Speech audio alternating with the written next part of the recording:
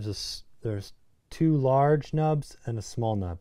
So you just have to line them up and I believe it's like that. And then you just give it a twist back. Now that one's on. Then we'll do the same here. So this side twists on the opposite way. So we just put it on here, twist it up. Okay, so now you've got some really good filters in here.